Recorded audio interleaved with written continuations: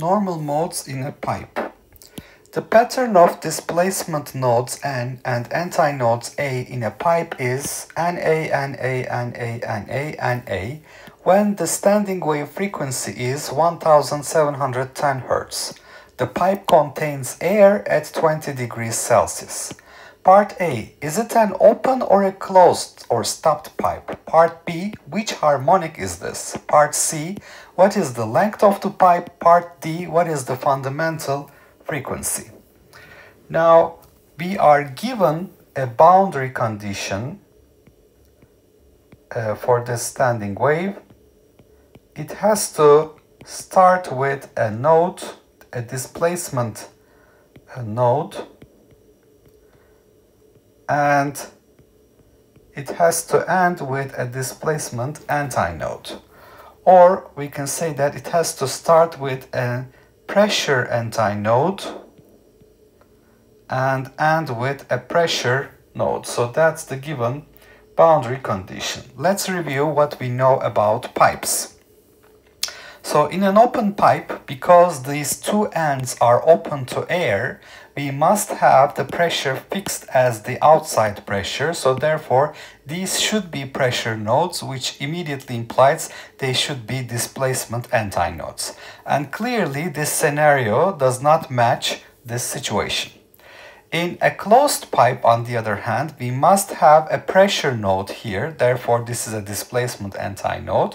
But on the other hand, uh, on this side, we don't allow the molecules to move, so therefore this becomes a displacement node, therefore a pressure antinode. So in terms of the displacement picture, if we start with antinode and with a node, this would be a closed pipe.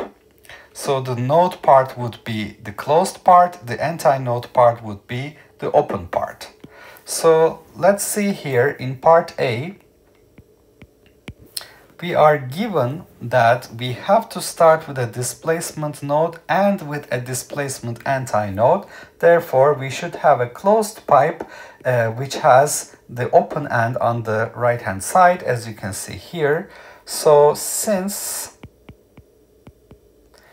we have a displacement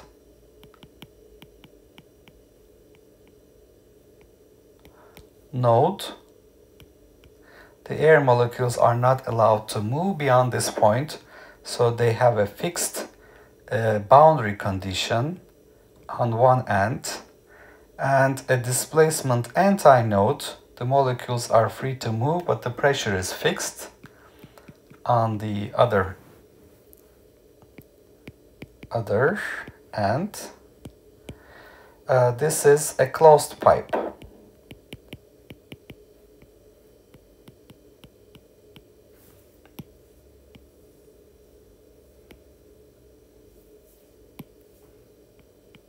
All right.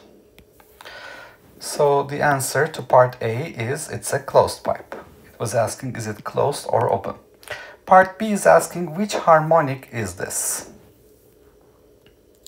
Okay, so let's uh, take a look at the given uh, pattern. So let's copy it here.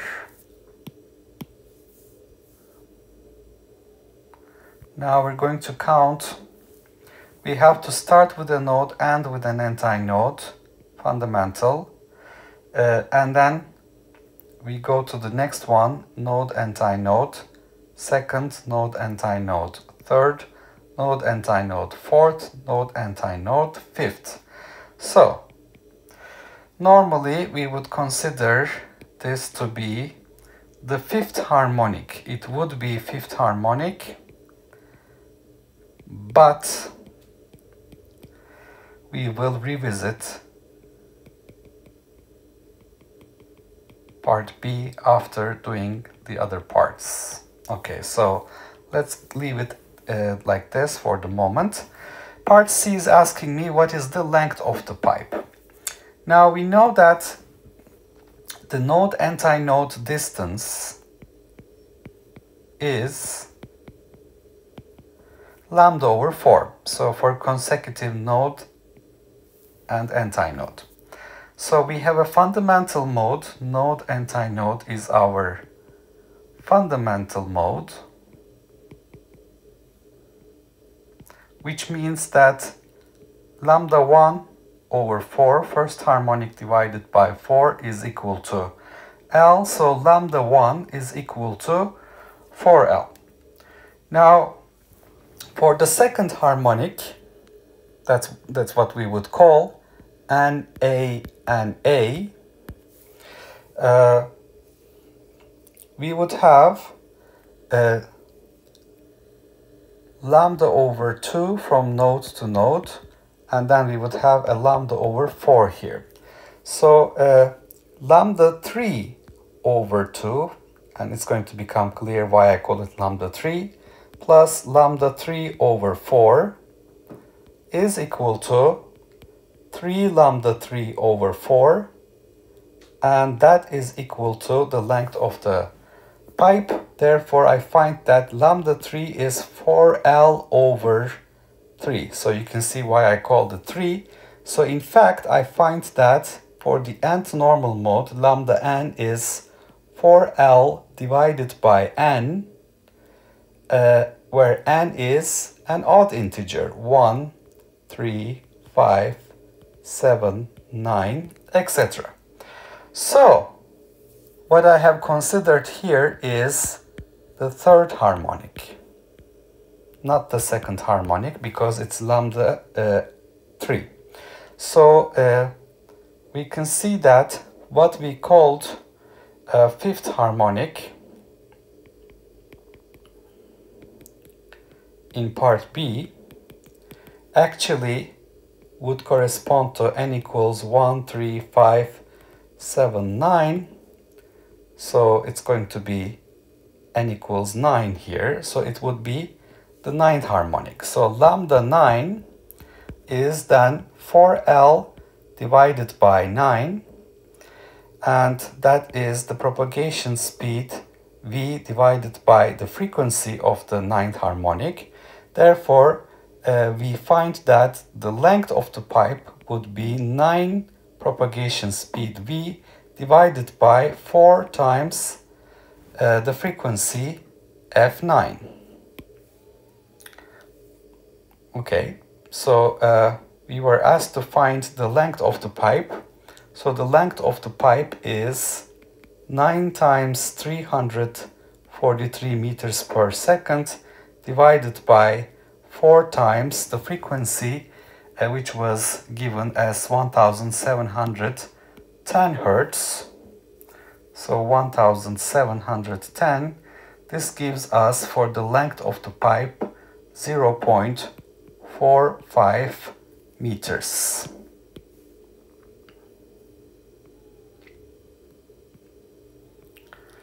Okay so uh, let's move on to part D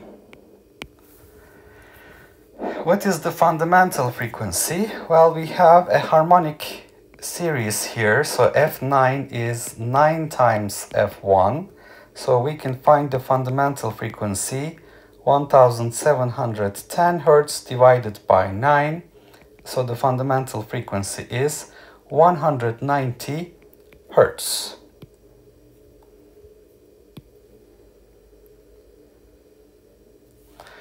And now let's revisit part B. Uh, so since we have found that the frequencies are given by n times the fundamental frequency, where n is 1, 3, 5, 7, 9, it's the uh, odd number, odd integer. So this is the first mode, second mode, third mode, fourth mode, fifth mode. Uh, this is telling us that uh, second, fourth, sixth, eighth harmonics do not exist. Okay, so what we have called the fifth harmonic in our first attempt for part B is actually not correct. So this is not the fifth harmonic it is actually the ninth harmonic. So it's not the fifth harmonic. Uh, it is the ninth harmonic. So this is the ninth harmonic.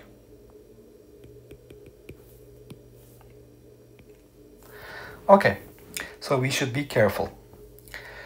Now we're talking about normal modes in a pipe. We're given a pattern that starts with a node, ends with an antinode, a displacement node and displacement antinode, and we're given the frequency of the standing wave and uh, pipe contains air at 20 degrees C that tells us the propagation speed of sound is 343 meters per second. Is it open or closed? Well, for open pipe, we have two pressure nodes, two displacement anti-nodes. For closed pipe, we have one pressure node, one pressure anti-node or one displacement anti-node, one displacement node. Therefore, this is a closed pipe. Which harmonic is this? Well, it's the fifth normal mode. So we can see that uh, it's the fifth normal mode. Which harmonic is it? We decide later. What is the length of the pipe? Uh, the node to anti-node distance is lambda over 4. That's the fundamental, which is lambda 1 is 4L. The next one, node, anti-node, node, anti-node, that is 3 lambda over 4 equals L. Lambda is 4L over N. We see it's 4L over 3 for the second normal mode. So uh, instead of saying it's fifth harmonic here, we should say it's fifth normal mode uh, for this discussion and then we will find which harmonic it is. Because we have lambda n 4L over n, n is an odd number, what we called fifth harmonic is actually the fifth normal mode, which is the uh, ninth harmonic. So for the ninth harmonic, lambda 9 is 4L over 9, which is V divided by the frequency, the ninth frequency. So uh, the length is then uh, basically um, 9v over 4f, so 9 times 343 divided by 4 times the given frequency, that's the length. What is the fundamental frequency? Because we have a harmonic series, f9 is 9 times f1, f1 is uh, the frequency f9 divided by 9, 190 Hertz. And since we have determined the fifth normal mode is the ninth harmonic, here we go back, revisit part B and call it the ninth harmonic.